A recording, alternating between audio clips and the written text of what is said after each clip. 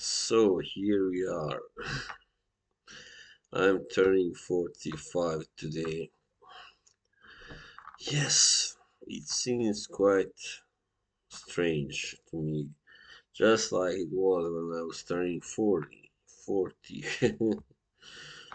so, but you know, that is one thing that I learned. You must never let that really affect you because it's only a number in which the years are only mathematical. Your age is only a mathematical thing, you know. Uh, yeah, like a calculus, you know.